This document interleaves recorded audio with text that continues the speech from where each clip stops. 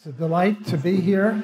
Before I start, I want to uh, thank Lew and Jeff for putting this on, and Joe Salerno and the, um, the entire staff of the Mises Institute.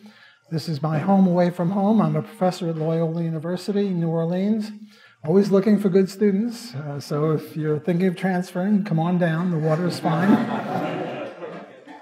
But this is my second home, my second intellectual home. I've been at the Mises University for many, many years, and it's always a delight uh, to meet new people and, and some of my old friends. Joe Salerno sent me the following note. He said, uh, This is fake economic news. Basically, what we would like you to do is take a few hot topics from the news, like inflation targeting, minimum wage increases, the attempt to repeal Obamacare, Yellen's recent claim that there will never be another financial crisis. And he knew that would get a laugh. So, what I did is I just, when I saw it, I picked up the newspaper and I was in Canada. So, it's the National Post, which is sort of like the uh, Wall Street Journal of Canada. And the first one I saw there was um, polygamy. Ex bishops found guilty of polygamy Winston Blackmore, 60 years old, was married to Jane Blackmore and then married 24 additional women. I don't know what it has to do with economics, but what the heck, I couldn't resist. He's going to be a busy boy. uh, the second one is a little more serious that I saw also in the newspaper, and this is that little boy, um, Charlie Gard, who uh, uh, who was a year old and, and had various uh, very serious problems. And the uh, authorities wouldn't allow his parents to, to determine his fate. They decided that they wanted the plug pulled and they wouldn't let the little boy die at home. And uh, this is just part and parcel of the government. Uh, the government is not a good institution. The government is based on compulsion. And, and here you see it in, in the most raw uh, way imaginable. Um, poor little guy. Uh, there, there, was somebody from the US, a doctor from the US, who had an experimental drug that might or might not have saved him, and the British uh, powers that be wouldn't allow the parents to bring the, the little boy to the US to um, possibly save his life. Uh, which makes you look at, at these people in, in not a very good way. Nowadays, um, Bernie Sanders uh, wanted to have single payer. Uh, in Canada, there is single payer um, uh, health care, uh, health system. And um, th- there's now a big kerfuffle as to get, we got to get rid of Obamacare, but what are we going to get? And the progressives want single payer. The problem with single payer is if you just get a supply and demand curve out there, there's supply, there's demand, there's quantity, there's price uh, a single payer means you pay nothing. I mean, you pay through it through taxes. It's sort of like, you know, they call it a freeway, it's really a taxway. Uh, so they, uh, Canada or Great Britain or these other um, uh, European countries, the progressive countries, uh, you know, you're sick, you have uh, care for free. Well, then demand has got to be greater than supply, no matter how you do it, and there's going to be a, uh, a waiting line uh, a long, long waiting line for people to uh, to get the service, and there's really no way around that. Uh, I have to read you a little um, thing. Um, tale of two doctors. Two patients limp into two different medical clinics with the same complaint. Both have trouble walking and appear to require hip surgery.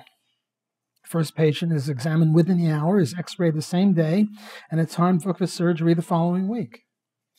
The second sees his family doctor after waiting three weeks for an appointment, then waits eight, then waits eight weeks to see a specialist, then gets an X-ray, which isn't reviewed for another week, and finally has surgery scheduled for six months later,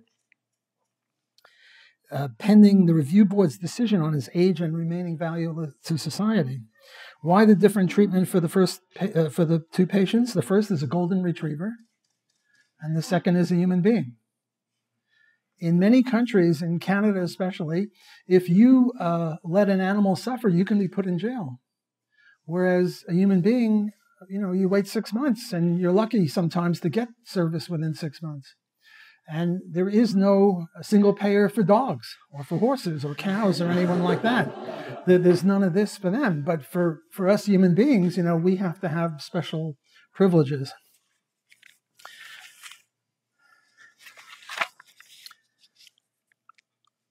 Why is it that we have uh, the present system where healthcare is linked to your job? The reason for it st- uh, stems from something very different, namely maximum wages, maximum wage laws. Now, later on, I will be discussing minimum wage laws, but uh, there is such a thing as maximum wage laws. This is during World War II when we had to keep wages down. So here is uh, supply and demand of wages, or supply and demand of labor, demand for labor, quantity of labor, and this is wages. And uh, when you have a maximum excuse me, when you have a maximum wage, um, the demand for workers is greater than the supply of workers. So employers are desperate to get workers. And what will they do? Well, they'll do something very similar to what was done when they had usury laws or laws against banks uh, giving too high an interest rate. And here we have um, supply and demand of, of loans and quantity of um, money loans and what you had there was uh, banks could only pay so much interest. So the demand on the part of banks for, for loans was high, and, and the supply of uh, lending to the banks, uh, supply of deposits was very small. So what did the banks do? They offered a TV set, or they, in other words, they try to get around this. They couldn't offer a high enough interest rate, so they offered uh, toasters or refrigerators or lottery tickets. Well, it's the same thing here. Now, what they could have done is they could have offered um, uh, toasters or refrigerators to workers who would come and work for them at the low wage. They could have even offered insurance, car insurance. Don't ask me why they uh, offered health insurance, but they offered health insurance. So all of a sudden, health insurance is somehow tied to the job. Why should health insurance be tied to the job?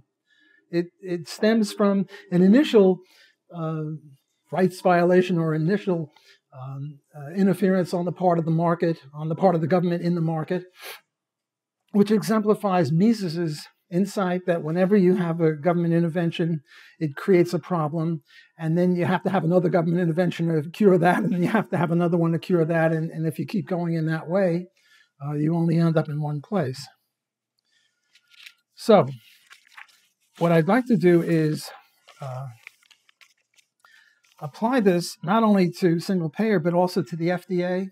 One of the problems I have with freshman students is they love the FDA. Food and Drug Administration, you know, okay, maybe this group is no good, maybe war is no good, but the FDA is sacrosanct. And the FDA is to its patients the way the British people were to Charlie Gard and his uh, family see, the moderate view would be let the FDA just give advice. Say, well, we don't think that this drug is good, but you're on your own. You're an adult. You're, we're not paternalist. I mean, paternalism, uh, this whole idea is very incompatible with democracy. Because on the one hand, we say you're smart enough to vote, but you're too stupid to pick your own drugs. I mean, if you're smart enough to pick uh, to vote, you should be able to be able to pick your own drugs. And if you can't pick your own drugs, you shouldn't be allowed to vote. There's a little inconsistency here. Whenever you decrease people's options, you don't help them. If I say that uh, there are 25 drugs or 26 drugs, A through Z, and uh, you can only use uh, the first 15 and not the last uh, 11 or whatever it is, how am I helping you? I'm precluding you from some options. Which would be better?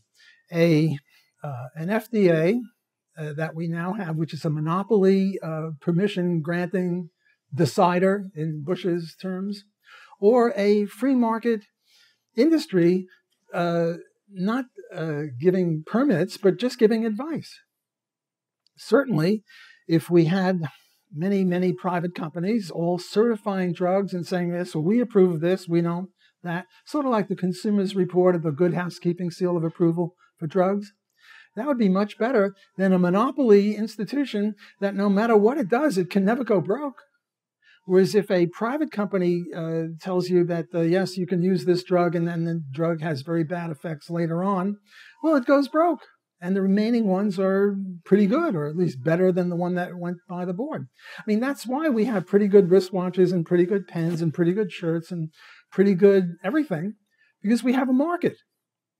And you have, um, uh, if you don't do a good job, you have to exit the market and come up with some other way to produce. Whereas when we put all of our monopoly, uh, uh, everything in, in, I'm sorry? yes, if we, if we put everything in one basket, then and that basket goes badly, uh, we're in trouble. Whereas if we have many uh, competing agencies to certify drugs, we're in much better shape. Okay, right now the big argument is well, uh, there are 40 million Americans with no health insurance. Well, they don't have peanut butter insurance either. they don't have um, automobile insurance for oil changes. Nobody gets insurance for an oil change, and yet, in effect, you're having a insurance for a medical checkup, which is sort of like an oil change, if I can use that analogy. Why is it? Why, why, why do we worry about that? And the answer is because it's so bloody expensive. If it was cheap, if it was uh, like peanut butter or a, a wristwatch or, or, a car, cars are pretty expensive, uh, there'd be no problem. So why is it so expensive? Well, people say, well, it's because uh, you have a lot of medical technology, but uh, we have medical technology with computers, uh, with TVs, with all sorts of uh, cell phones and stuff, and the price keeps coming down, down, down. So that could hardly be the thing. The thing is because in the medical field, what we have is restricted entry. Namely, we have a supply shift. The supply gets shifted from S to S prime, Namely, there are many fewer doctors than there should be. In some of my research I did a few years ago, I found out that uh, I compared doctors with PhDs in biology. Why PhDs in biology? I figured, you know, if you've got a PhD in biology, you have enough uh, upstairs to become a doctor if you wanted to, and you're not really afraid of blood. So I didn't pick a PhD in math or something like that because they might be afraid of blood. And the salaries of doctors is something like sixfold, five or sixfold what a PhD in biology gets, which indicates that there's a vast shift in the supply curve to the left. Namely, if you and I want to be partners and set up a new medical school, now, we're not doctors, uh, although I think there might be a doctor or two in the audience here, but we're not doctors, but we hire doctors to, to run it. What will happen to us? We'll be put in jail. You just can't set up a medical school without the permission of the AMA. And the AMA is the, the labor union of doctors, and they don't want this.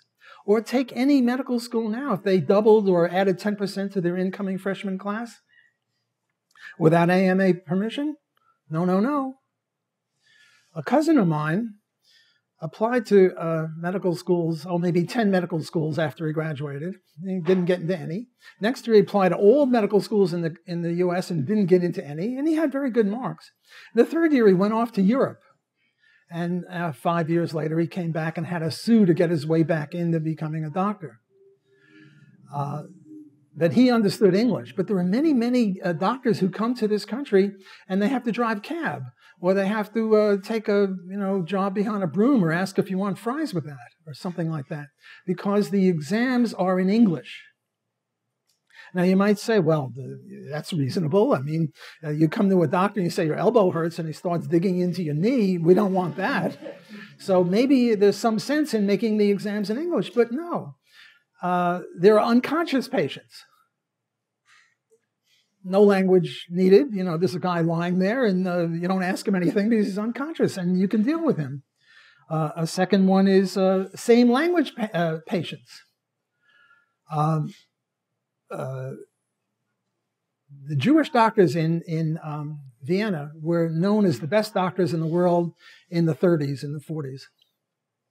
They many Jews came from uh, Austria to escape Hitler and uh, the economists got jobs, the, the physicists got jobs, uh, all the other intellectuals got jobs. The doctors couldn't get jobs in, in the US. The same thing happened with Cuba.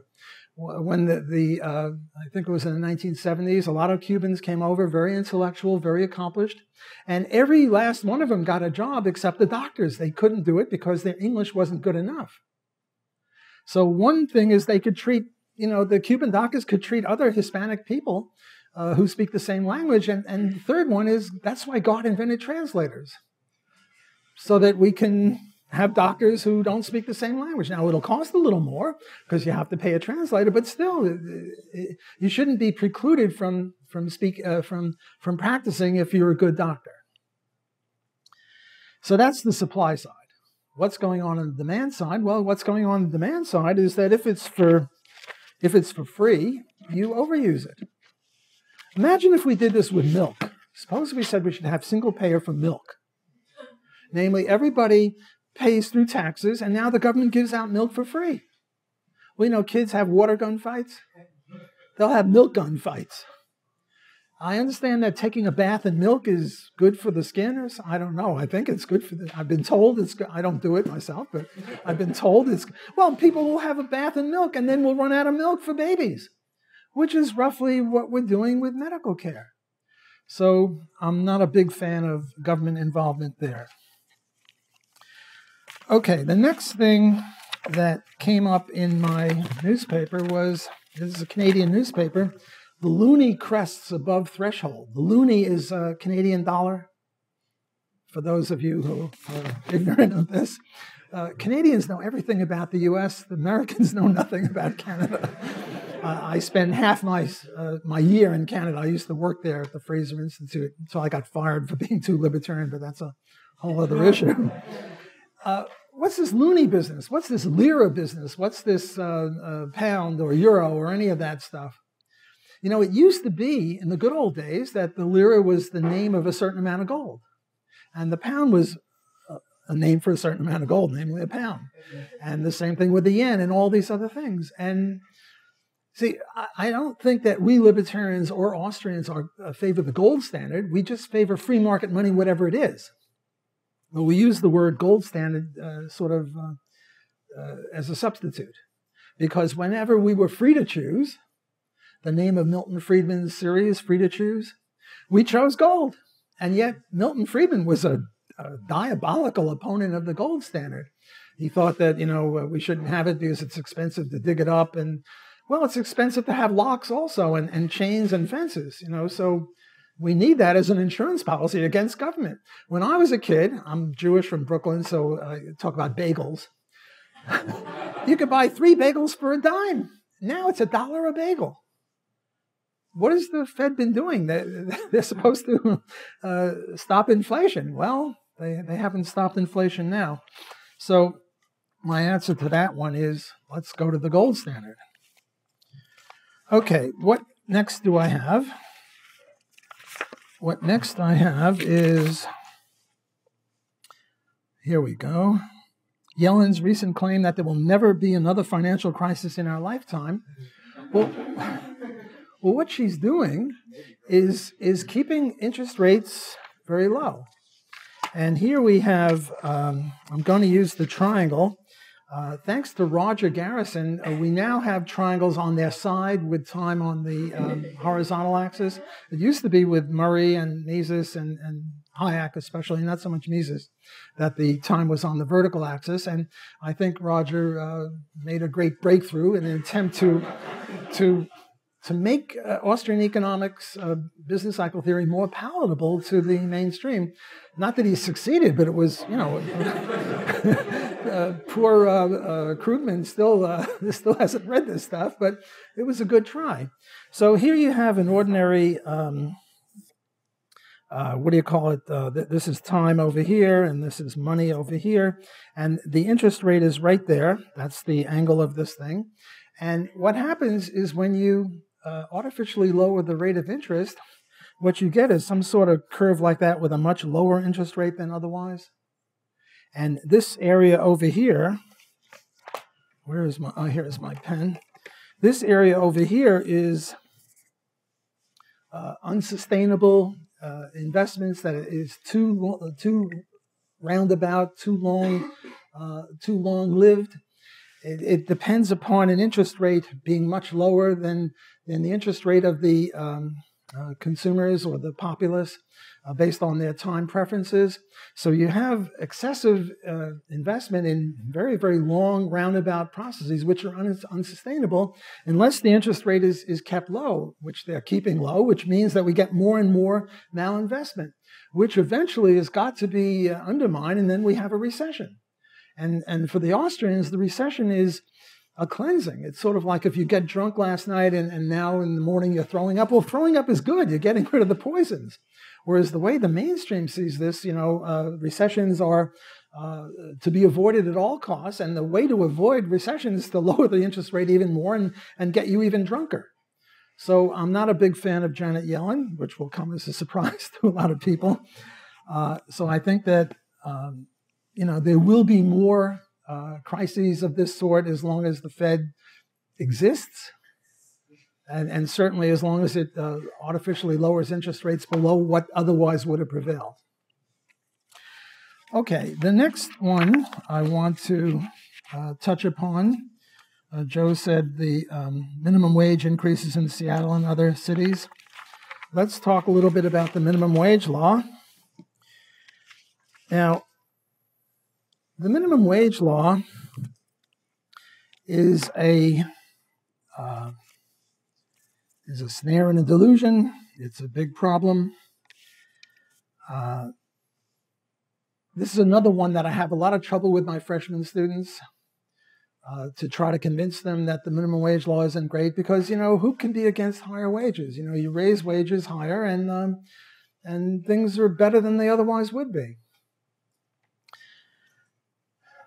Well, one refutation of this is that if it's so good, why be so cheapskatey about it? Why just raise it to 15? Why not raise it to 150 or 1500 or 10,000 an hour? I mean, if by mere stroke of a legislative pen you can increase uh, well-being of, of everyone, why why 15? Why why should we just do it to 15? Why not just raise it uh, way up there? And the obvious answer is that a lot of people think that the minimum wage law is a floor on the wages, and the higher you raise it, the higher wages go. No, the uh, the the correct answer is that the minimum wage law is like a barrier over which you have to jump, and the higher it is, the harder it is to jump over. And if you keep raising it, well, I mean, uh, you raise it to 20, that means people who have a, a marginal revenue product or a productivity level of, uh, of 18 uh, are going to cost the employer $2 an hour. So even if you're productive at $18 an hour, you still are going to either not get a job, or if you get a job and there are too many people like you, you're going to unemploy your your um, your employer. You're going to put your employer uh, uh, bankrupt, and uh, then the whole kit and caboodle of you are unemployed. Let me uh, offer you a, a, sort of trick question that I pose to my intermediate micro students. I'm sure you'll all get it, but some of you might not, so it'll be perhaps of some help. Uh, where is that? Ah, there it is. Okay, we have a uh, supply and demand, and right now the minimum wage law is $5 an hour, and there are 1,000 people working. Quantity of labor, wage, supply, demand. And the wage bill, namely how much money per hour all the workers getting, well, there are a thousand of them. They're getting five dollars, so they're getting five thousand. And now we raise the minimum wage law to seven. And some people now get seven dollars. Other people are going to be unemployed. And let's say that there are 900 people that still remain employed. Okay, so 100 people lose their jobs, but 900 people get a increase in their wage from five to seven. And what's the wage bill now? Well, it's 6,300, right? Namely, seven times 900. Everyone with me so far? Okay. Now, it's, it's sort of a, a problem of interpersonal comparisons of utility to say, well, which are we better off with? Which are all thousand people better off with? With some of them making more money going from five to seven and others making zip? Or with the original situation where everyone makes five? So it's sort of a quandary. But a way out of that is to posit that these workers are all buddies. And what they do is they say, look, we realize you're going to have 100 unemployed, but let's share the wealth. Let's share it around. Let's everybody works one everyone works 9 weeks out of 10. And we take turns. So, you know, this week you're working, next week you're working, next week you're working. And one tenth of all the people are unemployed for a week or a month or whatever it is. And we share all the money. Well, how much money will all the people get? Well, the way to figure that out is now we have 6,300, and we're not going to divide it by 900 because that would give us seven, we're going to divide it by 1,000. So everyone gets $6.30 an hour. Got it? Now, it's not as good as seven, but everyone's getting 630, so we can get around this interpersonal comparisons of utility problem. And we can say, look, this is unambiguously good because everyone used to be getting $5 an hour. Now everybody is getting 630. True, they're not getting 7, but they're getting 630. 630 is better than 5, even though it's not up to 7. So this looks pretty good. What's the problem with this? What, what error did I make? Because I, I like to fudge. We know the minimum wage law is no good. And this makes it look a little good. Yes? There's my man, elasticity. Look, the reason that in baseball, you know, those pitchers, they throw the ball 90 miles an hour. Why do they do that? They don't want the batter to hit it. And the faster you throw the ball, the harder it is to hit the ball. During batting practice, when they want to give the um, batters good feelings, and when even the shortstop can hit it over the fence, they throw it around 45, 50 miles an hour, and now everybody hits well. The reason they throw it so fast is because they don't want to have people a chance to adjust. Well, it's the same thing here. Uh, the market has to adjust.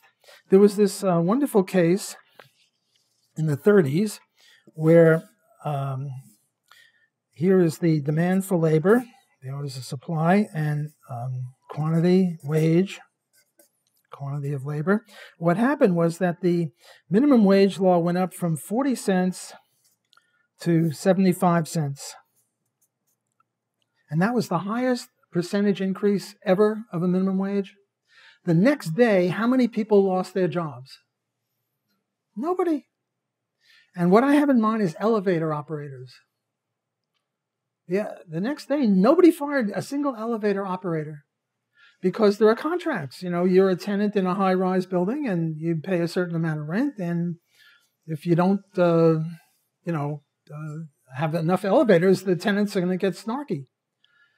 But what happened is little by little, the demand curve started going flatter and flatter, namely, automatic elevators came in. In the old days, you get into an elevator and there was a guy sitting there. He wasn't a pervert, he was the elevator operator. And he would say, What floor? And, and he would get you to the floor. And uh, sometimes he would say, Well, wait, I can get it a little closer because automatic elevators get really flat. But he had to adjust. So he'd say step up or step down. It's only an inch, so you know that's as close as he could get it. Well, the next day nobody got fired, but as more and more automatic elevators came in, more and more elevator operators um, were fired, and eventually the the curve gets very flattish. And it's the same thing nowadays with the $15 minimum wage in, in Seattle. And now uh, you, have got um, people when you, when you go into McDonald's, you no longer ask somebody for a drink. You you press the button yourself.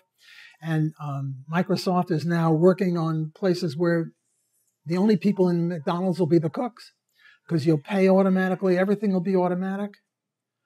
Well, at uh, at 40 cents an hour, the uh, manually operated elevator operators were very competitive with technology. At 75 cents, they were no longer. Well, it's the same thing now.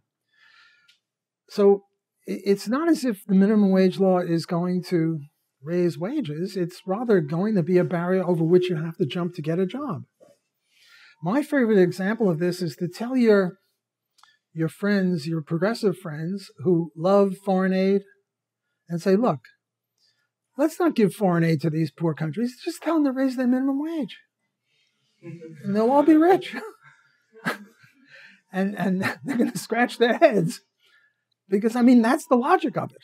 The logic of it would be that uh, we don't need foreign aid. Not that foreign aid works. I mean, Peter Bauer uh, has shown that foreign aid is uh, another snare and a delusion. So I'm not favoring foreign aid. But I'm saying that people who love foreign aid, this might be a wedge into which you can undermine their security about uh, interventionistic econo- economics.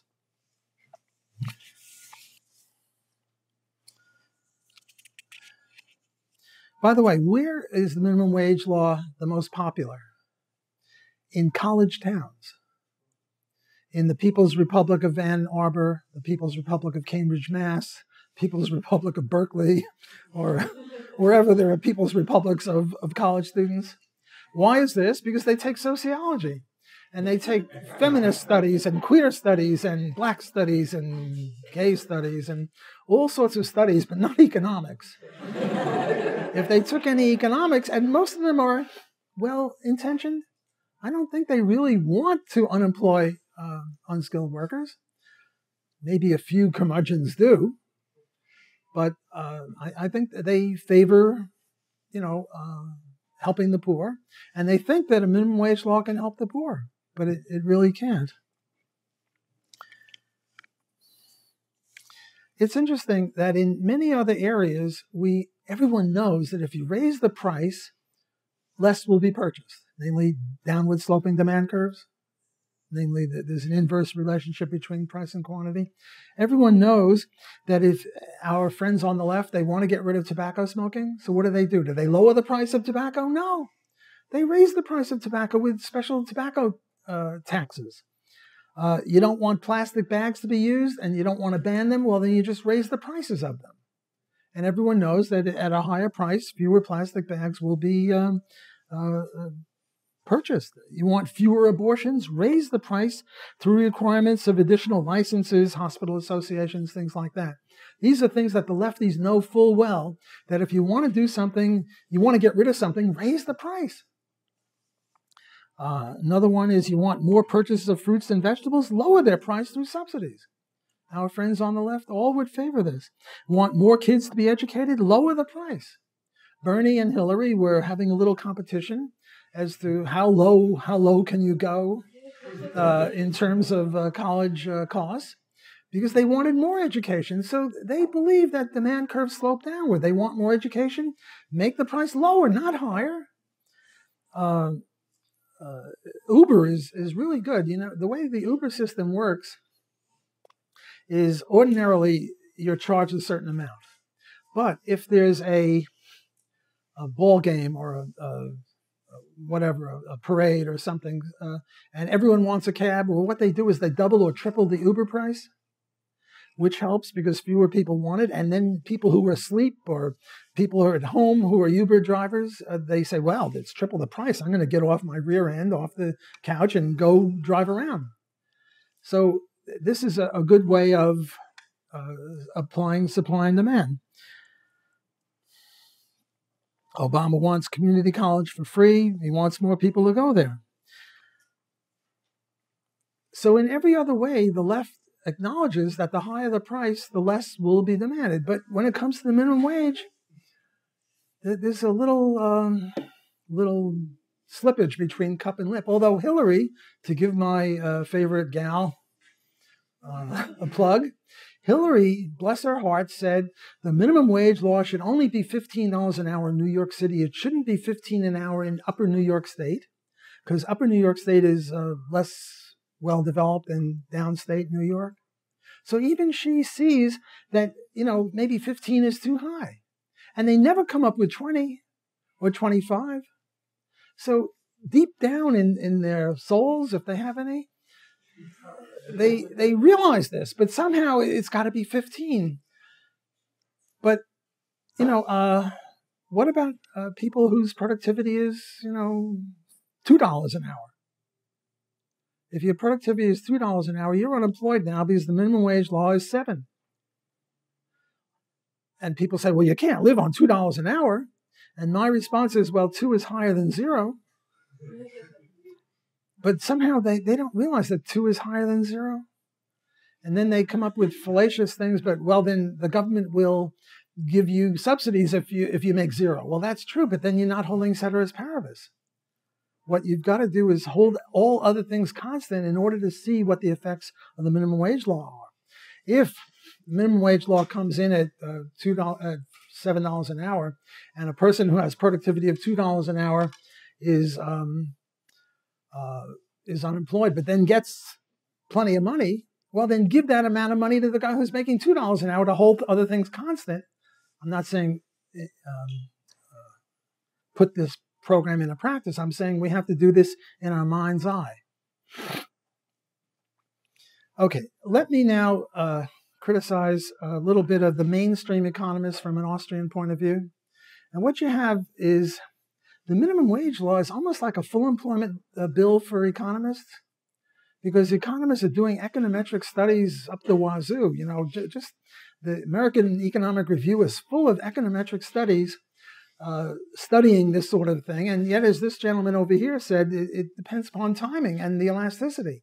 So it, it depends upon uh, what kind of results you're going to get, depends upon how long you allow the market to work, because the market doesn't work instantaneously. From a libertarian point of view, what you're doing is you're offering to put people in jail who pay less than than seven dollars an hour. I'm now going to hire you, young lady. What's your name? Curly. I'm going to hire you to wash my car for three dollars an hour. And she agrees. We both go to jail. And they're not going to put her in jail because I'm exploiting her.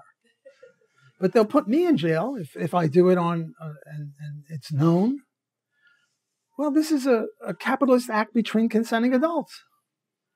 I mean, our friends on the left are always saying that um, acts between consenting adults should be legitimate. Robert Nozick says, well, how about capitalist acts between consenting adults?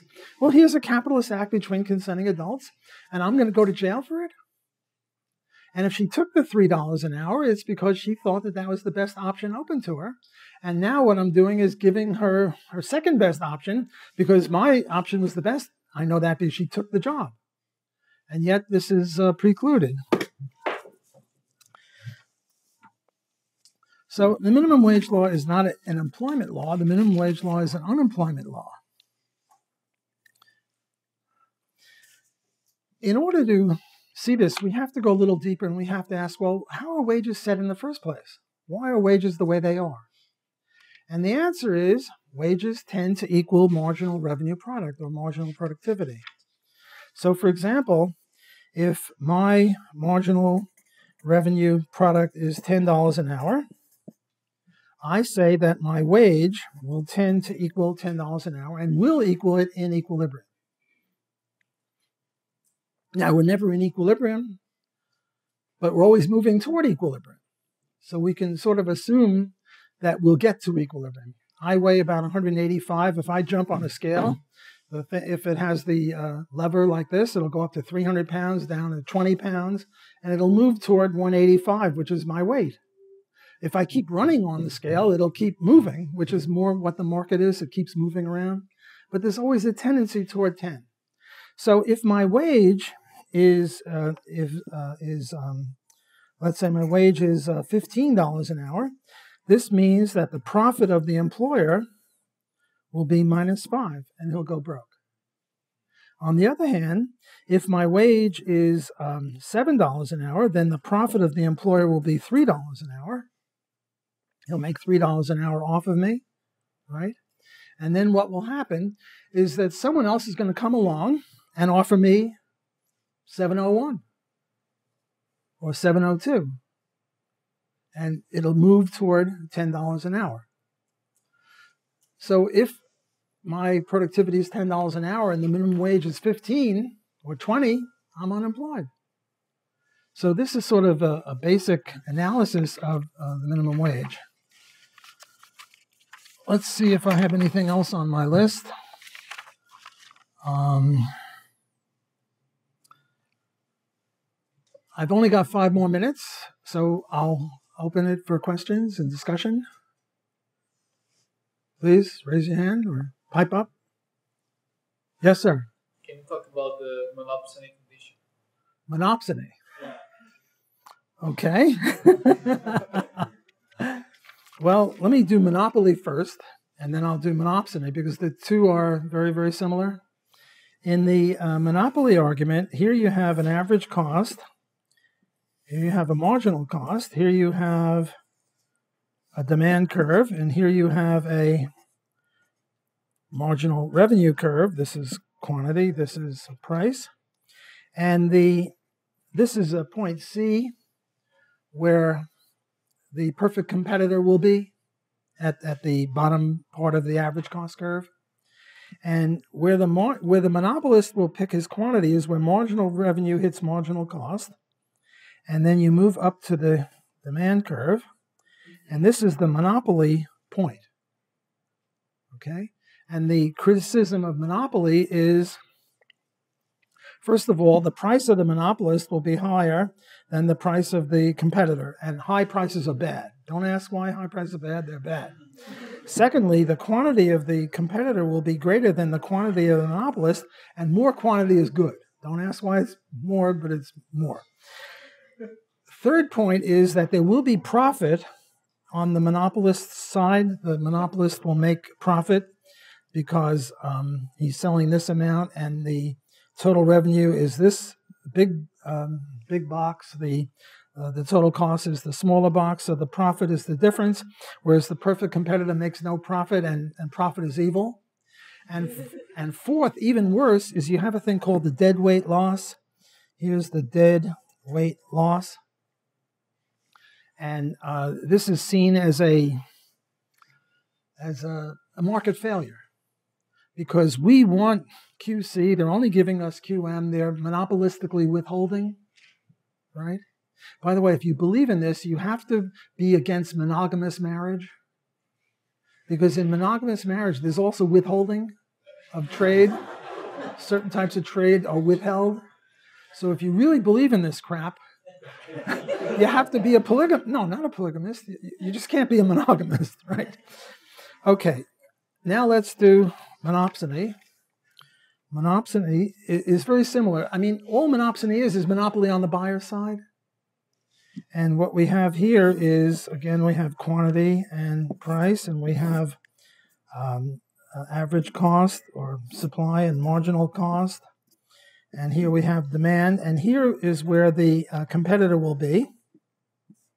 So this will be QC. I shouldn't have put QC here, just Q. And here is where the monopsonist will locate.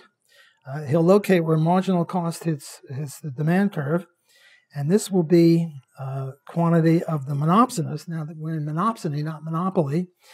And uh, again, what we have is between these two points, uh, a minimum wage will actually uh, increase uh, not only wage, but also, what do you call it, wage, but also quantity. See, the problem with the minimum wage is it raises the wage, but it reduces the quantity. Namely, it went from 1,000 to 900. But now what we'll do is we, will be moving along this axis here. And if the minimum wage law is higher than here, then even the, the mainstream people will say, well, okay, that now the minimum wage law is too high. But within this area, they will say, minimum wage law is good. And, and they'll justify minimum wage laws based on um, monopsonistic power. Now, the example that they use for monopsony, the, the idea here is that the only buyer of labor, just like in monopoly, is the only seller of labor. In, in monopsony, the, the, example they use is um, what's that place in Pennsylvania that makes chocolate? Hershey, Pennsylvania in Hershey, Pennsylvania, a small town, the, the, apart from a grocery store and a filling station, uh, everyone is employed by Hershey, Pennsylvania. So uh, you have this sort of monopsonistic uh, kind of thing, and they're hiring too few people and all that.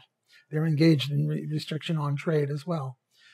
Well, maybe monop- maybe this made sense in the 18th century or the 19th century, but certainly it's silly now. There are no monopsonies, even on their part. But we Austrians can go deeper than that in in uh, undermining monopsony or monopoly. One of the uh, ways to undermine this is you see they talk about an industry. You monopolize this industry. You monopsonize that uh, labor force, what have you. But how do you define an industry? in antitrust cases, if you want, um, uh, what the defense will say is that um, it's a we're going to define uh, the product very, very narrowly, uh, rather very, very broadly, like all all food. and and my uh, my client Heinz ketchup or whatever is a very small part of all food, whereas the uh, uh, the plaintiff is going to say, no, no, let's just define it in terms of ketchup.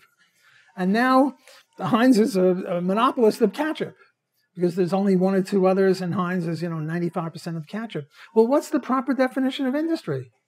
It's silly. There's no definition of, of industry because ketchup is in competition with, with bagels, with, with, with pens, uh, with, with everything. So thanks for the question, and that would be my short answer. And I think I'm out of time, so thanks for your attention.